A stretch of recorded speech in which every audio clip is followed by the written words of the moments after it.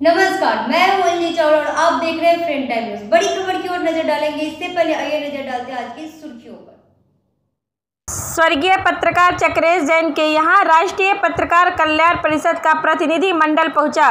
राष्ट्रीय पत्रकार कल्याण परिषद मध्य प्रदेश के द्वारा शाहगढ़ में पत्रकार चक्रेश जैन को ज़िंदा जलाने से हुई मौत के बारे में विस्तार से जानकारी हासिल करने के लिए संगठन के पदाधिकारियों के साथ पत्रकारों का दल सागर पहुँचा। श्रद्धांजलि सभा आयोजित की गई।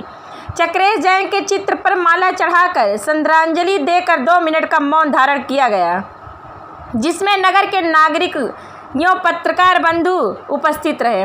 पत्रकारों ने उस झोपड़ी का भी निरीक्षण किया, जहाँ पर चक्रेश जैन को पेट्रोल डालकर आग लगाया गया था।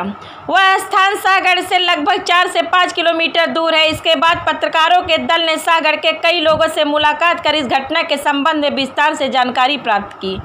जानकारी में ग्रामवासियों ने बताया कि पत्रकार चक्रेश जैन एक बहुत ही ईमानदार पत्रकार थे और वह अपनी लेखनी के माध्यम से शासकीय कार्यालय में हो रहे भ्रष्टाचार को लगातार उजागर कर रहे थे। जिससे कई शासकीय अधिकारियों की नौकरी का खतरा मंडरा रहा था। अपनी नौकरी बचाने के लिए एक साजिश के तहत कुछ लोगों ने पत्रकार जी को सुनोजित तरीकों से पेट्रोल डालकर आग लगा दी। राष्ट्रीय पत्रकार कल्याण परिषद के राष्ट्रीय महासचिव पुष्पेंद्र सक्सेना एवं राष्ट्रीय संगठन सचिव सुनील जैन बुंदेलखंड महासचिव सौरभ खरे पत्रकार महेंद्र सिंह देवेंद्र साहू सुनील एवं वरिष्ठ पदाधिकारी सहित सभी पत्रकारों ने चक्रेश जैन के घर जाकर उनकी माता जी से मुलाकात की। यो संगठन के द्वारा अपराधियों को उनके किए गए कृत्य की सजा दिलाई जाएगी और शासन से मांग की जाएगी कि वह पत्रकार के परिजनों को आर्थिक सहायता उपलब्ध कराए। राष्ट्रीय पत्रकार कल्याण परिषद के तरफ़ से रूप में पाँच हज़ार की सहायता राशि भी प्रदान की गई। यह पत्रकार साथी चक्रेश जैन की मूर्ति शाहगढ़ में लगाए जाने का निर्णय भी लिया गया।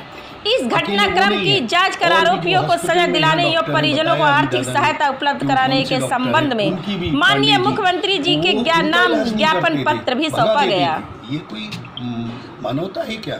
मानवीयता होना चाहिए आदमी के अंदर अगर चक्रेश जैन में एक दबंग पत्रकारिता थी उसके अंदर। वो भ्रष्टाचार को उजागर करते थे। सारे लोग यहाँ पर कहते हैं, ये कुछ लोग जो परेशान हैं, जो लोग, कि वो सभी चक्रेश चैन के पीछे पड़े हुए थे कि कैसे चक्रेश को रास्ते से हटाया जाए। हम सारे पत्रकार साथी जो हैं, पुलिस डिपार्टमेंट से आईजी एसपी महोदय से, माननीय मुख्यमंत्री महोदय से, इन सबसे अनुरोध करके इस मामले को बहुत गंभीरता से लेंगे। और जो दोषी व्यक्ति हैं, उनको किसी भी कीमत पर ना बख्शा जाए, इसका प्रयास करेंगे और चक्रेश जैन जी के परिवार के लिए क्या आर्थिक सहायता मुहैया कराई जा सकती है, ये राष्ट्रीय पत्रकार कल्याण परिषद करेगा।